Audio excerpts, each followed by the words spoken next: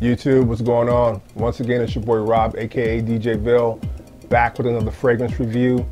The fragrance I'm going to be reviewing today is Insensé by Givenchy. All right, and this fragrance dropped in 1993. The uh, perfumer's name is Daniel Molière. I totally missed this fragrance when it dropped. Never even heard of it until I recently saw a review by a fellow YouTuber that goes by Scentland all right? I really like his reviews. I really like the fragrances that he reviews and I really like his taste. So I said I'm gonna go ahead and pick up this fragrance and see what I think about it. I was a little nervous because it's a floral, but he spoke so highly of it, I wanted to definitely try it out for myself. I picked up the bottle just for display. This is the bottle.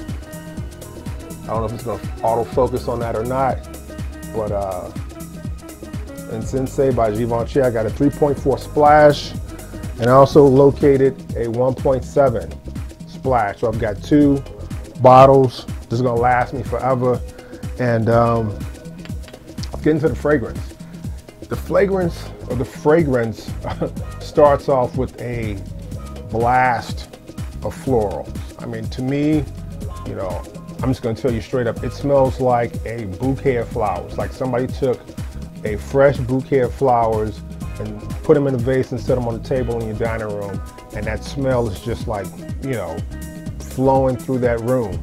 But the thing is, it changes. It doesn't just stay, you know, like a floral, floral fragrance. Actually, at about the two minute mark, there's this black currant note that kind of comes in and it kind of like overtakes the floral. And the black currant has kind of got this peppery, um, almost smoky like vibe to it.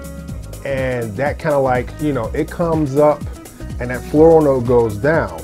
And it's then it becomes slightly stronger than the black currant note, than the floral note, I'm sorry. And then maybe like another 10 minutes into it, there's this fir note that kind of comes up. And this fir note has got this really aromatic type feel to it.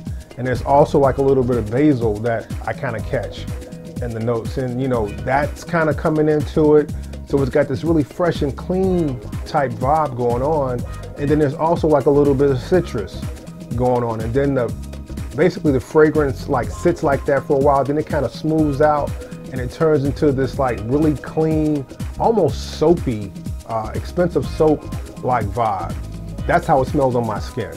And I think it smells amazing.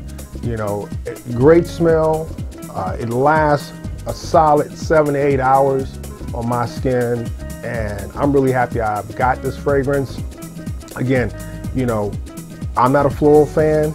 I was a little nervous, but I trusted, you know, the reviews of this reviewer and a lot of the fragrances he liked, I like. So I got it and I'm glad I got it. You know, it's a vintage fragrance, dropped in 93. I don't know how I missed it. It had to be because you know, I was at the tail end of college trying to graduate and I wasn't really focusing on fragrances at that time, but this is an amazing fragrance. I'm really surprised I don't see more folks talk about this fragrance. Uh, you know, it is a great vintage fragrance that you should check out. It's definitely a great vintage fragrance that you should check out. And if you're a niche head, I would suggest you check this fragrance out also. It's a really high quality fragrance in my opinion. I think, you know, heads would like it, whether you're a designer head or niche head. Um, because the, the very end of the fragrance is just so nice.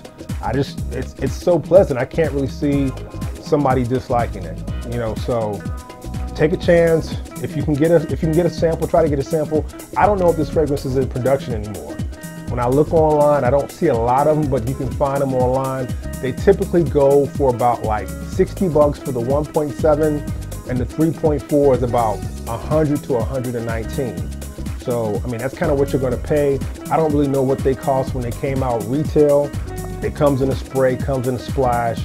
I've got two splashes and I'm really glad I've got it in the collection. So if, you're, if you haven't checked it out, try to check out Insensé by Givenchy.